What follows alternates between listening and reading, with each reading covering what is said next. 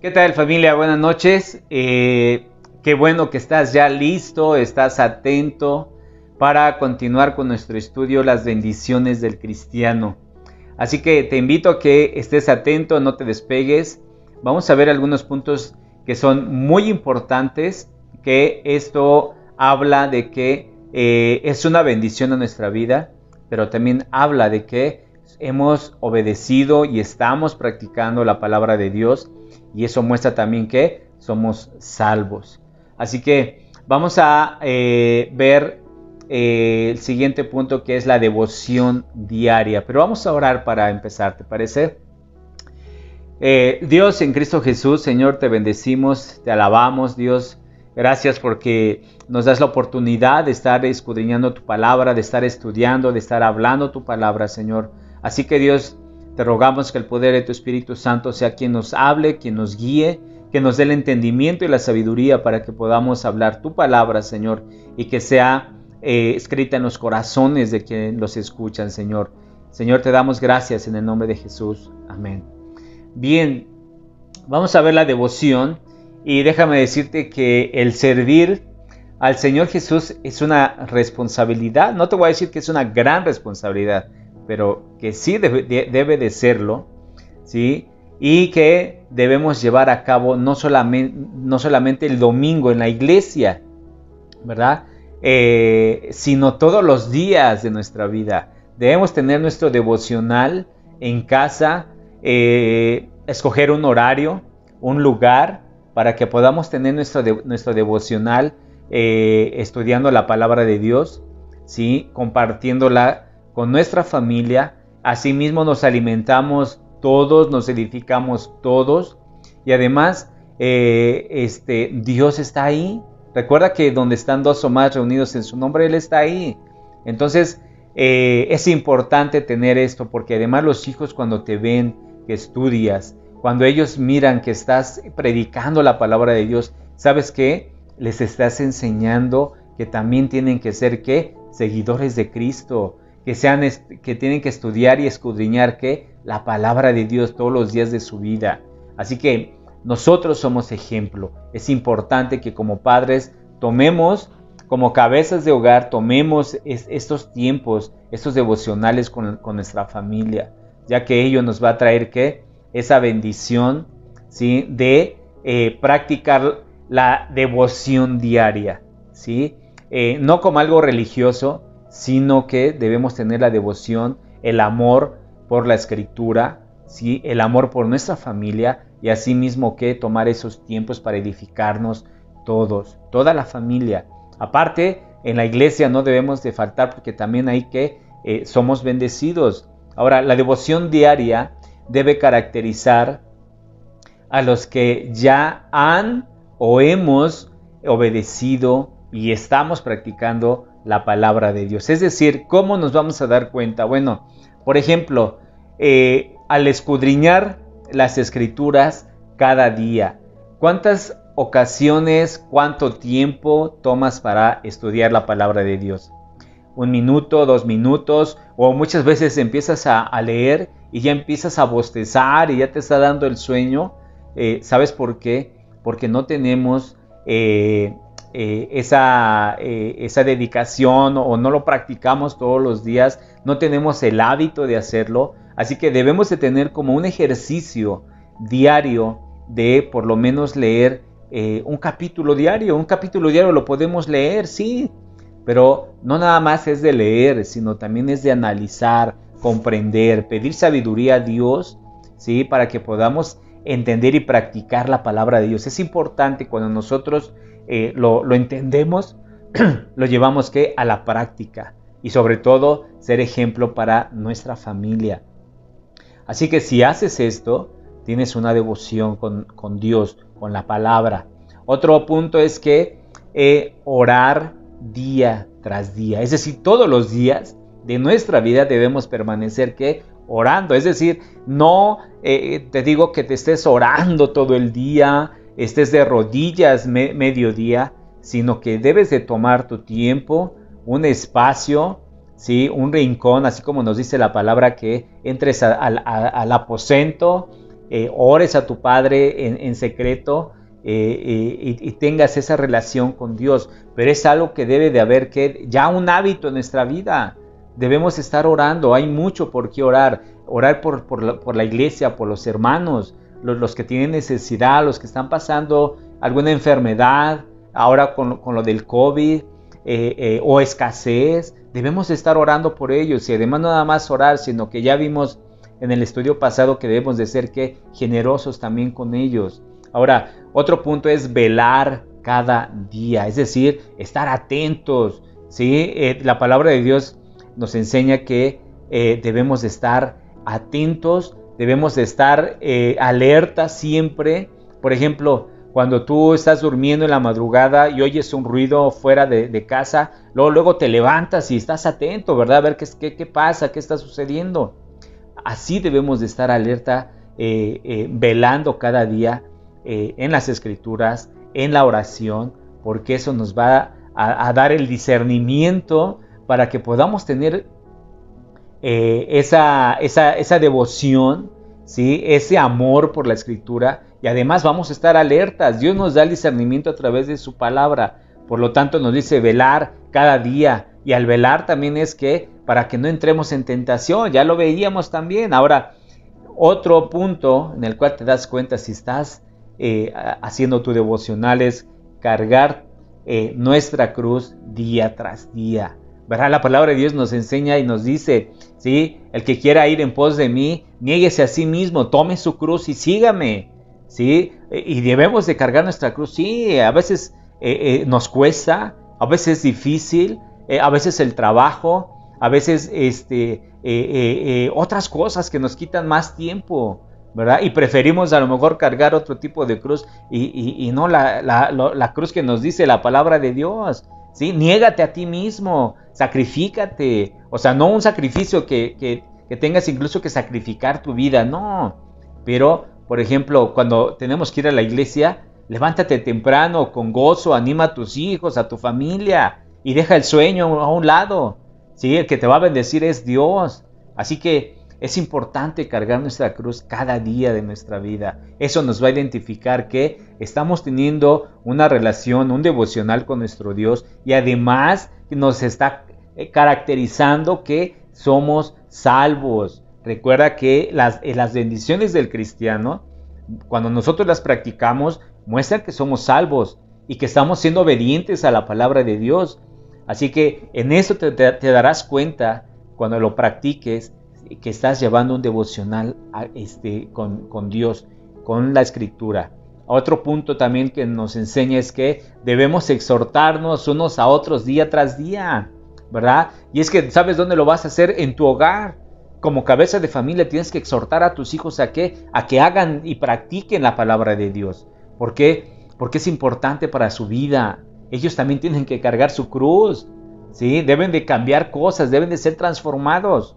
Por lo tanto, si tú eres ejemplo para ellos, ellos también lo van a hacer, así como Cristo es nuestro, es nuestro ejemplo y, tratamos y nos esforzamos ser ejemplo también para, para nuestros hijos. Así que, incluso en la iglesia, si ves a un hermano que está practicando otras cosas, debes de exhortarlo que con amor. ¿sí? Oye hermano, ¿sabes qué? debemos de practicar lo que la palabra de Dios nos enseña, únicamente la palabra de Dios, ¿sí? Eh, todo es con amor, recuerda que Cristo nos enseña con amor. Otro punto en el cual te vas a dar cuenta es que cuando predicas el Evangelio día tras día, en tu trabajo, cuando vas con, la comadre, cuando vas de visita, eh, debes que practicar la palabra, vivirla y además hablarla a los demás para que otros también conozcan el Evangelio de Dios y lo obedezcan y sean salvos.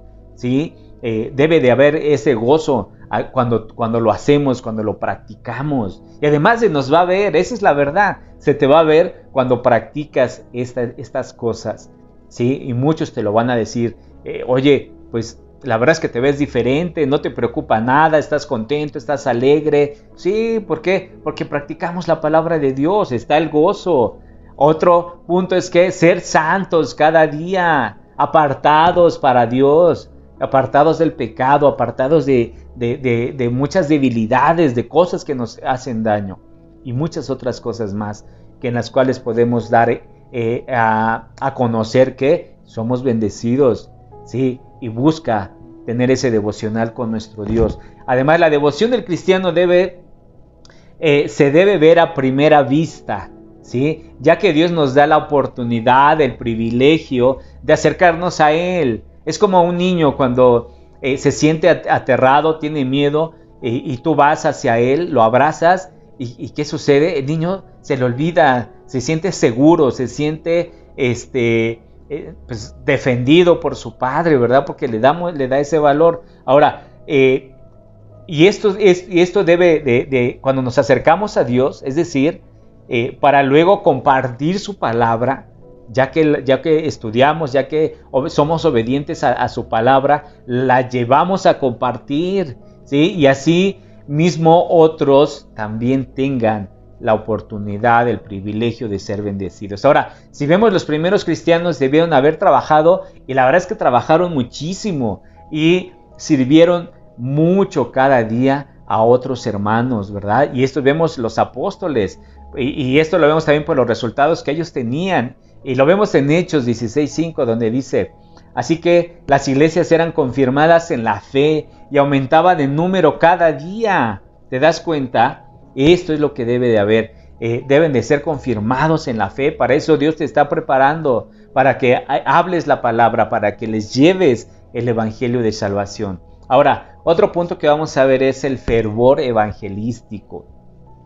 Y esto eh, nos dice que cuando hubo una gran persecución en Jerusalén, ¿sí? y los discípulos tuvieron que huir, se fueron de la ciudad, ¿sí? con el mensaje de salvación, eh, no solo en sus corazones, también que en los labios, iban hablando, iban compartiendo la palabra de Dios, no se quedaban callados. Y esto lo vemos, por ejemplo, eh, en Hechos 8.5, donde nos dice, entonces Felipe descendiendo a la ciudad de Samaria les predicaba a Cristo, les predicaba a Cristo. Entonces, ¿qué nos enseña? Que nosotros donde vayamos debemos que hablar de Cristo, hablar el Evangelio de salvación. ¿Por qué? Porque a Dios le interesa a todo el mundo que muchos sean salvos. Eso es eh, algo tan importante que Dios nos enseña. Por lo tanto, nosotros tenemos que ser obedientes a su palabra. ¿sí? Y ya lo vemos aquí, Felipe, ¿sí? Eh, descendió a Samaria y que el único que hablaba, ¿qué? De Cristo, hablaba, predicaba a, Jesucristo, a su Señor, por lo tanto es nuestro Señor y debemos que hablarlo, debemos de darlo a conocer. Ahora, eh, fíjate en esto, y es que eh, hay este, las personas que, son salvas de, eh, o somos salvos de, nuestros pecados, no, no, pueden dejar de decirle a otros sobre esto, este maravilloso, este, este grande acontecimiento, ¿sí? Y, y, todo esto es para, para que Dios les dé también la salvación a otros. Así que eh, es importante, es una responsabilidad que nosotros tenemos para hacerlo, para hablar y no quedarnos callados. Porque fíjate, por ejemplo, hay veces que eh, hacemos otras cosas, ¿sí? Eh, o podemos decirle a otra persona si que se siente mal o, le duele este, le duele el otro, incluso le das unos remedios o le, hablas de productos o medicamentos que consideramos que, son buenos o que le van a hacer bien, ¿sí? Incluso animas a la gente a que, a que lo tome, a que los utilice, ¿verdad? ¿Por qué no? Eh, ahora que es más importante, ¿sí? Es que eh, eh, tengamos o que hagamos esta relación del Evangelio con otras personas. Y, y, no es que nosotros las, que las tengamos que convencer, Dios les da el convencimiento. No debe de haber un solo cristiano que no hable a las personas la importancia y la necesidad del mensaje de salvación de Dios. Es un mensaje de Dios, es más, es eh, una ordenanza que Dios nos ha dado ahí en Mateo 28 y de hacer discípulos a todas las naciones, bautizándolos en el nombre del Padre, del Hijo y del Espíritu Santo. Así que, eh, por ejemplo, esto también algo que podemos ver en Hechos 5:42, donde dice, y todos los días en el templo y por las casas no cesaban de enseñar y predicar a Jesucristo. Los, por ejemplo, vemos este, los, a los apóstoles, vemos a Pablo. predicando a Cristo Jesús, dando, dando este, hechos, pruebas contundentes de Jesucristo. Es importante que nosotros hablemos para que muchos sean confirmados que en la fe, para que muchos sean añadidos que a la salvación que Dios quiere. Además, recuerda que es una bendición para tu vida. Otro punto que vamos a ver es la defensa de la verdad. Pongamos mucha atención en esto. Cuando tú defiendes una verdad, cuando tú sabes que estás en lo cierto y que no estás mintiendo, haces todo por defender tu verdad. Dime, ¿no es así? ¿Verdad que sí? Sí. Y cuando estás mintiendo y quieres eh, pasarlo a una verdad, sabes que no va a ser así porque estás consciente que estás mintiendo. Una mentira no la puedes defender, no, la, no puedes tener bases para defenderla, pero una verdad sí, y mucho mejor y más importante, la verdad de la palabra de Dios, sí podemos hacerlo con mayor razón. Ahora, eh, debemos que en, eh, aquellos que, que, ya hemos sido salvos, somos obedientes a la verdad, amamos la verdad y, además sabes que debemos de estar listos para qué? Para defenderla. Por eso es importante estudiar la palabra de Dios porque cuando tú la compartes con otra persona y esa persona te empieza a hacer preguntas y, te dice, ajá, y dime dónde está escrito, dónde dice, o sea, lo tenemos que mostrar, ¿Por qué? Porque es la verdad de Cristo, no tu verdad. Así que debemos de estar preparados siempre para defender la verdad de eh, la palabra de Dios, de nuestro Señor Jesús. Es muy importante estudiar la palabra y ya que solamente con la misma palabra vamos a defender la, única verdad. La misma palabra de Dios habla por sí sola, eh, no para, eh, para no ser engañados. Esa es la verdad, para no ser engañados y asimismo no engañarnos a nosotros mismos. Es importante tener muy claro y preciso versículos ya aprendidos, dónde los dice, en qué capítulo, eh, en qué libro están, ¿sí? en qué verso. Eh, debemos estar preparados. Es importante defender esta verdad, así como Pablo lo hizo hasta que murió que nuestro Señor Jesucristo nos da un claro ejemplo de ello. Habló de una verdad eh, contundente con su propia vida hasta la muerte, ¿sí? Así que debemos tener también nosotros eh, tener pleno conocimiento de la verdad de Dios para que podamos hacer, eh, hacer frente a otras, a las mentiras que el diablo quiere meterle a la gente. Y para eso estamos nosotros. Dios nos da esa bendición de defender esa verdad, nos da el privilegio de hablar su palabra, por lo tanto debemos que memorizarla también. Así que otro este, ejemplo es que en el libro de los Hechos, ¿sí? vemos cómo los enemigos de la verdad se levantaron para disputar con Esteban. ¿Recuerdas este pasaje con Esteban que fue muy, eh, muy fuerte, muy agresivo hacia él incluso? Eh, eh, Esteban hablando de una verdad, la única verdad de Jesucristo, y otras personas lo vemos como lo empiezan a atacar, empiezan a decir.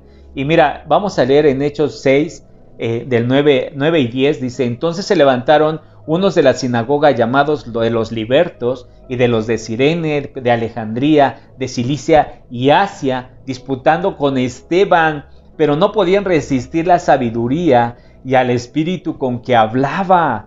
Este, el Espíritu de Dios estaba con Esteban y Esteban hablaba con denuedo y les, y les hablaba y ellos no soportaban esa verdad. Por lo tanto, esto es lo que nos muestra esta, escena eh, este, donde nos hace mención el Nuevo Testamento. ¿sí? Y, pero hubo algo eh, que hicieron a Esteban y tú lo sabes, lo mataron a pedradas por hablar la verdad. Eh, hubo este, tuvo esa persecución. ¿sí? Tuvo una muerte muy fea, ¿sí? Incluso estaba Saulo, ¿verdad? Que las ropas cayeron este, a sus pies. Ahora, en México tenemos una palabra o una expresión eh, muy popular, ¿no? Como les diríamos, montoneros, gandallas, ¿verdad? se pasaron de lanza con, Esteban, ¿verdad? Entonces, y esto es precisamente lo que eran estos enemigos de la verdad. ¿sí? Atacaron a Esteban ¿Cuántos habrán sido? Fueron muchos los que atacaron eh, a Esteban contra uno solo. Pero ese uno solo defendió la verdad hasta su muerte, hasta morir. ¿Sí? ¿Y qué es lo que nos enseña? Pues sí, vamos a tener persecución, vamos a tener este, aflicciones, sí. Pero ¿sabes qué? Tu recompensa es que eh, eh, vas con Dios. Y si, y si padecieres hasta morir, ¿sabes dónde vas a estar? Con Cristo. ¿Sí? Entonces, ¿por qué vamos a tener temor en hablar la palabra de Dios? Debemos de tener claro, eh, por ejemplo, Esteban habló esta verdad, fue valiente, defendió hasta el, último momento de su vida, ¿sí? Así que debemos de hacerlo. Ahora tenemos el Espíritu de Dios, el cual nos recuerda todo lo que hemos leído, escuchado de la palabra de Dios. Debemos de eh, pedir sabiduría a Dios. Sí, recordemos que eh, el Espíritu nos va a recordar la palabra de Dios, y, pero también debemos que estudiar la palabra de Dios para defender la verdad de Jesucristo. ¿sí? Eh, por la sabiduría y el espíritu con que hablaba, podemos estar seguros de que presentó argumentos eh, claros y contundentes. ¿Quién? Esteban. En cuanto a Jesús, eh, que era el Mesías anunciado. Esteban ganó el debate. ¿Qué crees? Sí lo hizo. ¿Por qué? Porque habló la verdad de Jesucristo, no su verdad. Habló la única verdad que existe en la Biblia, es la palabra de Dios y la defendió hasta morir. ¿Sí? ¿Sí ganó? Sí, claro que sí. Ahora yo te pregunto, ¿tú estás listo para defender eh, esta verdad? ¿Sí? Y, y incluso tener pruebas suficientes y contundentes para anunciar a Jesús? ¿Estás listo? Y si no estás listo, te invito a que te prepares, a que estudies, a que aprendas, memorices versículos y que, cuando sea el momento de defender esa verdad, estés abierto, estés plenamente con la sabiduría, con el Espíritu de Dios para que defiendas la verdad y puedas hablar con denuedo. Es importante eh, estar preparados, ¿sí? Y ahorita lo vamos a ver por qué. Así que al final de la, de la, este, la defensa de la verdad, le costó la vida, sí le costó la vida a Esteban. Eh, era un excelente cristiano, sí, un excelente cristiano. Sin embargo, su ejemplo nos exhorta a nosotros a defender eh, de la misma manera la verdad de Dios, la verdad de la palabra de Dios. Recordamos que la defensa de la verdad acompaña también que la salvación, eso es lo que va a demostrar también. Es decir, no tenemos que demostrar a todo mundo este, que, yo soy esto, yo soy el otro, no, con nuestros hechos van a hablar más que, que mil palabras. Así que vemos en primera de Pedro 3.15, mira esto, lo que te digo. Nos dice, sino santificada a Dios el Señor en vuestros corazones y estad siempre preparados para presentar defensa con mansedumbre y, reverencia ante todo aquel que os mande razón de la esperanza que hay en vosotros. Debemos estar preparados para presentar defensa con mansedumbre, es decir, con amor, a todo aquel que os mande de razón. Debemos de estar preparados. Es importante. Es, por ejemplo, si tú en tu, en tu trabajo, si no estás, eh, no tienes la experiencia, si eres este, soldador, si eres este, carpintero, si eres lo que sea, si no estás preparado para hacer ese trabajo, vas a hacer un mal trabajo. Es importante prepararse primero, ¿sí? Para luego que salir y darle duro a la chamba. Es importante. Ahora, en la palabra de Dios es importante estudiarla, retenerla y eh, presentar este, la verdad a quien nos mande razón, es decir, a quien nos pregunte, a quien, a quien no vamos a debatir, no vamos a entrar, no, nada de eso, sino tenemos que hablar únicamente la verdad. Por ejemplo, en primera de Pedro 3:17 nos dice, porque mejor es que padezcáis haciendo el bien, si la voluntad de Dios así lo quiere, que haciendo el mal. ¡Wow! ¿Te das cuenta? Es mejor que padezcáis si estás haciendo el bien, si estás hablando la palabra de Dios, si estás memorizando versículos, si estás compartiendo la palabra, es mejor que estar haciendo el mal, ¿no lo crees? Otro punto es la persecución precisamente. Efectivamente la persecución puede ser una cosa eh, que acompaña o pertenece a la salvación. Es, es algo es una bendición y tú vas a decir, ¿qué onda? ¿Por qué una bendición? ¿No? Si soy perseguido, tengo persecución y tengo problemas. Bueno, es una bendición. Es una bendición porque esto muestra que eres salvo. Va acompañada de la salvación. Así que no tengas miedo, no tengas temor. Dios está contigo. Dice que Él, él va a estar con nosotros hasta el fin del mundo. Y, y entonces, ¿por qué no vamos solos? Él habla también por nosotros. Nosotros no podemos pretender ser verdaderos eh, discípulos de Cristo si no estamos dispuestos a padecer. Por ejemplo, Pablo padeció terriblemente, fue golpeado, encarcelado, eh, incluso este, de las sinagogas lo, sacaron la patadas, pensaron que estaba muerto. O sea, eh, dime si esta es una persecución, es algo terrible. Debemos estar dispuestos a padecer. Padeces por Cristo, Muchas veces eh, padecemos o, los que se, se, toman las botellas de alcohol, al otro día están padeciendo en vano, en balde, sin ningún beneficio. Imagínate padecer por Cristo. ¡Wow! Es una gran bendición, ¿no lo crees? El apóstol Pablo le dijo a Timoteo en, en 2 de Timoteo, Timoteo 3:12, y también todos los que quieren vivir piadosamente en Cristo Jesús padecerán persecución. Entonces, si vamos a tener persecución, que sea, como ya lo vimos, haciendo que el bien, eh, hablando la palabra de Dios. Eso es, algo que vale la pena. No eh, este, tener esa, persecución porque ya estoy buscando problemas, porque ya me peleé con el vecino, eh, en vez de, hablarles la palabra de Dios en, estos tiempos que es tan importante que muchos conozcan la verdad y tengan esa paz, sean confirmados en la fe y sean añadidos a la iglesia, sean añadidos a la salvación, es tan importante que nosotros estemos preparados. Ahora, los hermanos del primer siglo sufrieron mucho a consecuencia de la persecución. Sí, perdieron tranquilidad, sus bienes, familia y aún sus propias vidas. Entonces, eh, ¿por qué debemos de temer? ¿Sí? Y recuerda que el, vivir es Cristo y el morir es ganancia.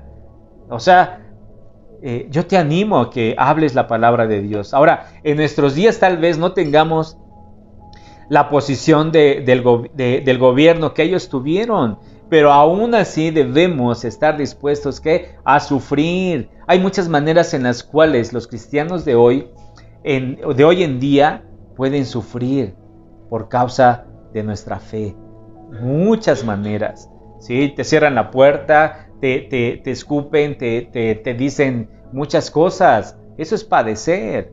Pero sabes que tú tranquilo, tú tranquilo debes demostrar lo que eres. Lo importante es que, te, que, que estemos siempre preparados y dispuestos sabiendo que en la persecución hay bendición de Dios. Y mira en Mateo 5, del 10 al 12, Bienaventurados los que padecen persecución por causa de la justicia, porque de ellos es el reino de los cielos. Bienaventurados sois por mi causa, eh, por mi casa, por mi causa os vituperen y os persigan y digan toda clase de mal contra vosotros mintiendo. Gozaos y alegraos porque vuestro galardón es grande en los cielos, porque así persiguieron a los profetas que fueron antes que vosotros. Así los persiguieron, los maltrataron, les hicieron muchas groserías. Así que vamos a padecer, sí, pero somos bienaventurados, felices, gózate porque eres, eh, porque pudieras tener persecución a causa de la justicia, a causa de, hacer el bien, a causa de, del evangelio. Gózate. ¿sí? Así que es una bendición, sí, es una bendición, ya lo vimos, pero debemos lo importante de todo esto y como conclusión, tenemos que estar preparados. ¿sí? Eh, el ser bendecido a través de estos puntos damos muestra que tenemos nuestra salvación. ¿Sí? Que vamos a tener persecución, sí, pero si es por causa de la justicia, si es por causa de la fe, si es por causa de, llevar el Evangelio a otras personas, que sea la palabra de Dios, porque entonces vas a decir, valió la pena el, el que me hayan cerrado la puerta, el que me hayan golpeado, el que me hayan hecho esto, pero es por Cristo, es por el Evangelio de Dios, no porque amaneces todo crudo en estos días y, padeces, ¿no? Ya ya no aguanto esto, ya no aguanto el otro. Eso, eso, eso es mundano, eso te, enferma, eh, eh, te hace muy mal. La palabra de Dios te edifica y te da vida. Y además nos, las da en, abundancia, nos da una vida eterna. Por lo tanto, eh, querido hermano, hermana, estas, estos 10 puntos que con estos concluimos acompañan nuestra salvación. Y para ello tenemos que vivir cada punto, cada de lo que hemos estado viendo, ¿sí? Eh, lo, que practicaban los apóstoles, lo que la palabra de Dios nos enseña, que debemos de presentar defensa a todo aquel que, nos, que os mande razón. Debemos de ser justos, debemos de guardar nuestra santificación, debemos gozarnos, ser hospitalarios. ¿sí? Todos estos puntos hablan de que somos salvos ¿sí? y que debemos de gozarnos. ¿Tu vida refleja que eres salvo? Sí, si, si practicamos estas cosas. Ojalá que así sea. ¿sí? Y si no, yo te invito a practicarlas, ¿sí? A que veas este, estos videos. Te pido que compartas, ¿sí? Para que muchos sean edificados también, ¿sí? Eh, Dios quiere bendecir tu vida, sí. Y la única... Eh, o lo único que Dios espera es que nosotros tomemos esa decisión, esa iniciativa y ponerlos por obra hoy, desde hoy. Así que que Dios les bendiga eh, eh, es una bendición para mí compartir la palabra de Dios y vamos a orar para terminar. Padre, en Cristo Jesús te damos gracias, Señor, por ser tan generoso, tan bueno, Dios eterno, porque nos muestras tu palabra de una manera tan clara, Señor, y, que aún, Señor, eh, si llegamos a padecer por tu causa, por la causa de tu palabra, Señor, tú nos dices que es una gran bendición, Señor. Y aún tu palabra nos enseña que el vivir es Cristo y el morir es ganancia, Señor. Por lo tanto, Señor, nos gozamos contigo, nos gozamos con tu palabra. Gracias por darnos el privilegio de estar delante de ti, Señor. En Cristo Jesús. Amén. Bien, familia, te recuerdo que los días miércoles 8.30 estamos con Segunda de Reyes. No te lo pierdas, es importante. Dios siempre busca edificar tu vida a través de su palabra. Los días jueves 8.30 tenemos las bendiciones del cristiano.